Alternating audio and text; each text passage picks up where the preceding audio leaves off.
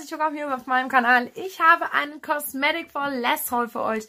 Yes, ich bin eigentlich auf einem sozusagen, ich überlege, was ich kaufe bei, aber ich habe auch gesagt, dass wenn ich praktisch eine geile Rabattaktion sehe, dass ich auf jeden Fall zuschlagen werde. Ich habe mir super coole Items auch für meine 1000 Abonnentenverlosung, die mittlerweile schon bei 200 Abonnenten weitergewandert ist. Da danke ich euch von Herzen für. Ich bin so, so dankbar dafür. Ähm, ich habe einige Items auch für euch mitgenommen. Ich warte jetzt momentan noch auf einen ähm, Revolution Beauty Haul. Ich habe die neue Foundation bestellt.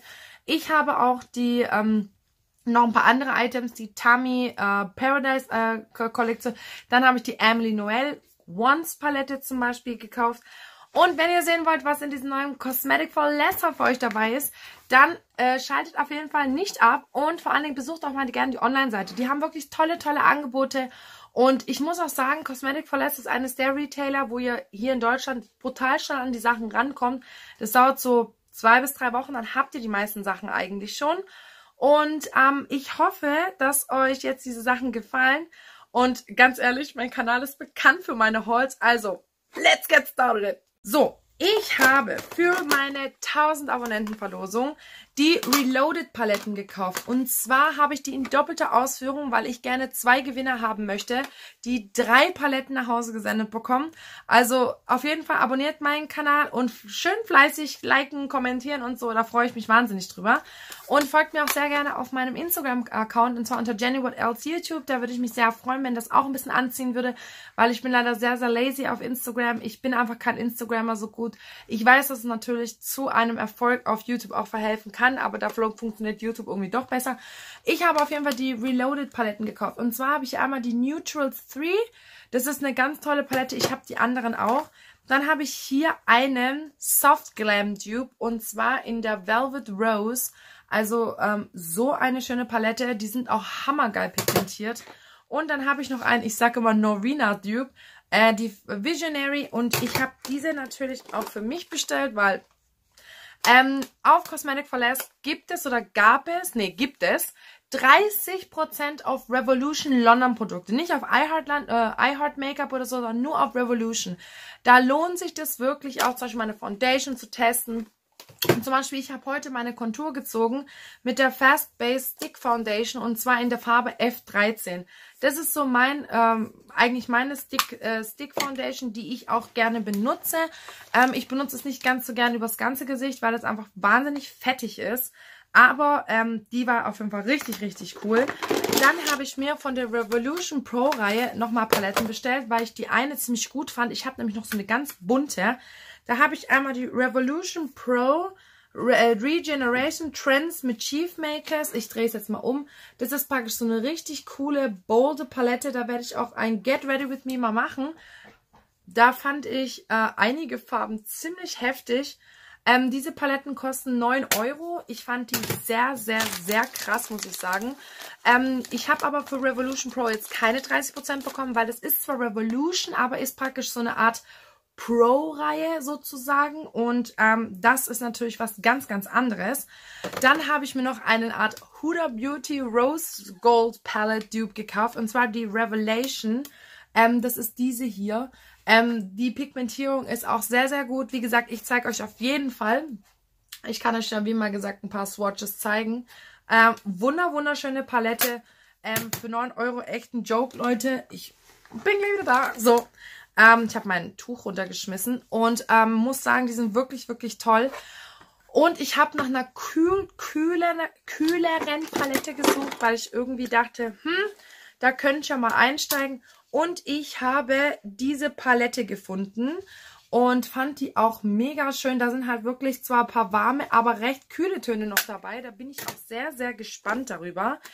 Dann habe ich mir die Revolution London Kiso Palette gekauft, weil ich möchte sie gerne unterstützen. Ähm, ich finde zum Beispiel Kollaboration mit, äh, mit YouTubern sehr, sehr schön, weil einfach, ähm, Revol okay, ich finde jetzt gerade, dass Revolution etwas zu viel gemacht hat. Da kam ja Kiso, Emojin, Tami, Kami MUA, Soph, die haben wir ja sowieso alle die Palette. Aber ähm, ich wollte, wie gesagt, diese Palette mal austesten. Von den Swatches her war die super vielversprechend. Also Die Highlighter sind auch mega, mega schön. Also ich hoffe, wie gesagt, dass ich auch mal dazu komme, die auch mal alle durchzutesten. Weil ähm, ich habe hier ein kleines äh, Häufchen, ein Häufchen von Paletten, wo ich einfach euch sagen muss, ähm, die äh, gefallen mir unnormal gut. Und dann habe ich halt die Emogination Paletten gekauft. Ich mag sie als YouTuberin eigentlich ganz gern. Ich finde sie manchmal nur etwas too much. Also das ist so ein bisschen, ja nicht Laura Lee-like, sondern einfach, ähm, sie ist halt einfach sehr, sehr viel. Sie ist auch teilweise, glaube ich, sehr aufgeregt, wenn sie spricht. So habe ich das Gefühl. Ähm, aber ist eigentlich eine ganz, ganz süße. Ähm, und die hat auch mega coole Paletten raus. Und zwar ist es die Homogenation Highlight to the Moon. Das ist eine, äh, eine Palette mit einem mega Spiegel, Leute. Und zwar habt ihr hier, ähm, ich drehe es mal um, habt ihr hier eine Highlightung in Konturpalette, die praktisch all in one ist, mit einem sehr, macht immer Spiegel runter, mit einem Coolton-Ding, einem Bronzer, ein paar Setting Powder und sehr, sehr, sehr schöne Highlighter, die ich wirklich heftig fand. Ich habe das Release-Video dazu gesehen. Ich werde mal hier von diesem goldenen Highlighter was im, oh, im Inner Corner auftragen. Also können wir bitte darüber sprechen, wie cool das aussieht. Auf jeden Fall, das sind halt so voll meine Farben. Ich wusste auch, dass ich sie benutze. Ich finde auch solche Paletten echt geil. Ich stehe lately total auf diese, weiß nicht, Gesichtspaletten. Ah, dann habe ich hier noch eine, ähm, nochmal eine Palette, die Neutrals 3 Palette. Ähm, und ich habe noch ein paar andere Sachen, wie zum Beispiel Concealer. Ich bin auch super gespannt, wie die... Äh, also wie gesagt, die Verpackung ist ganz cool. Die ist so lila holographisch. Und diese Verpackung ist auch so ein bisschen holographisch. Das ist die ähm, Emogination Eyeshadow Palette. Und ich finde die super gelungen. Ich mag zum Beispiel auch das Layout etwas besser wie bei der Kiso Palette, weil die Transition Shades einfach sehr viel größer sind. Das sind einfach die Palettenfarben, die ihr am meisten braucht. Und dann habe ich aber noch so ein paar Cool Tone praktisch drinne und ich muss euch sagen, mega, mega schöne Palette. Ähm, ich habe auch, wie gesagt, ein bisschen durchgeswatcht. Und Leute, wie geil sind diese geilen Farben bitte. Ähm, ich liebe Makeup Revolution. Ich finde Makeup Revolution nicht nur sehr günstig, sondern auch qualitativ verdammt hochwertig.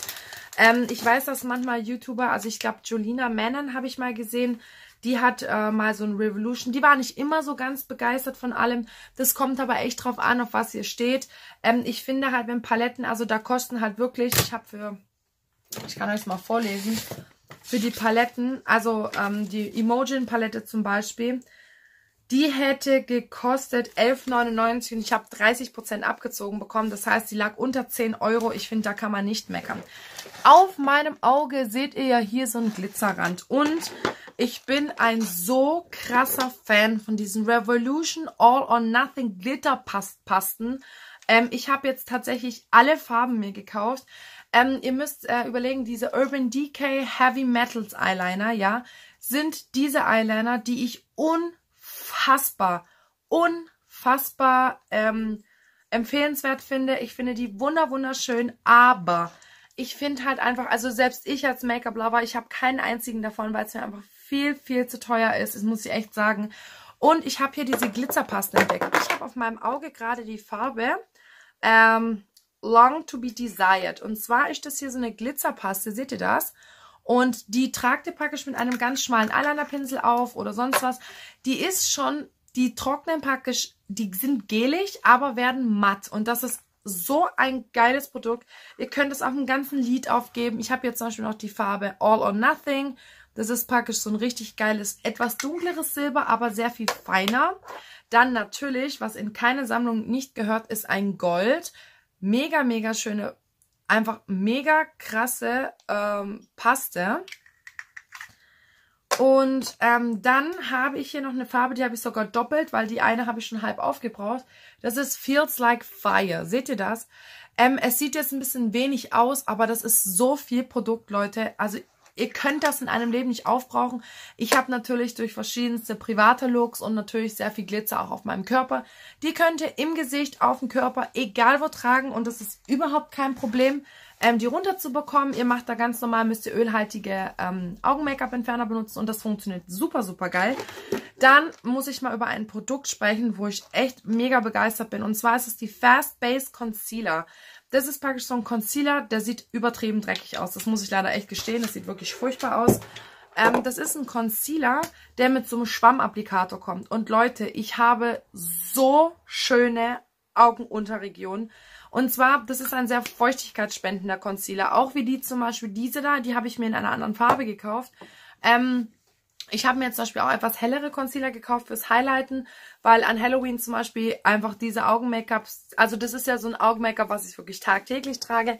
Ähm, wenn jetzt zum Beispiel auch, ähm, ich habe auch ein äh, Augenbrauen-Video hoch, also wird, es wird ein Tutorial geben, beziehungsweise eine eine Art Experience-Video, weil ich habe mir nämlich die Augenbrauen äh, stechen lassen.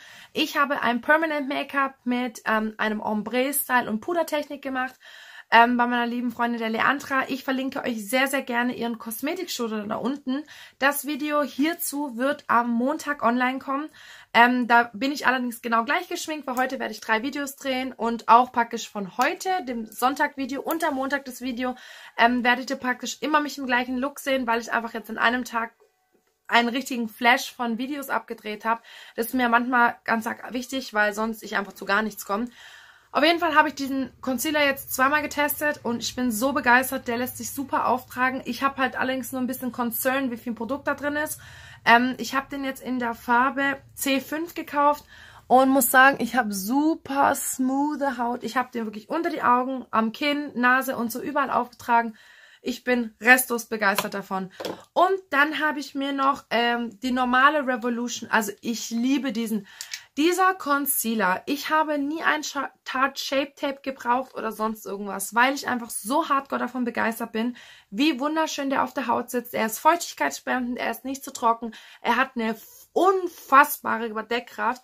Ich habe davon locker 10 Backups zu Hause und habe mir natürlich bei der 30% Aktion von Cosmetic for Less noch andere Farben gekauft ähm, und bin wahnsinnig begeistert. Cosmetic for Less ist auch eines der meines, mein Lieb, äh, wirklich einer meiner liebsten Online-Shops. Sie haben immer super Angebote. Die Seite ist so übersichtlich, wirklich toll.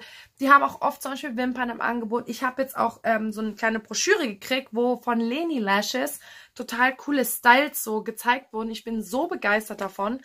Und ähm, denke einfach, dass ähm, ihr, wenn ihr dort einkauft und ab und zu mal eine Rabattaktion mitmacht, ähm, wirklich mega gut ist. Ich meine, 30% auf Makeup Revolution ist dann praktisch sowas wie, nehmt sie mit, es ist geschenkt.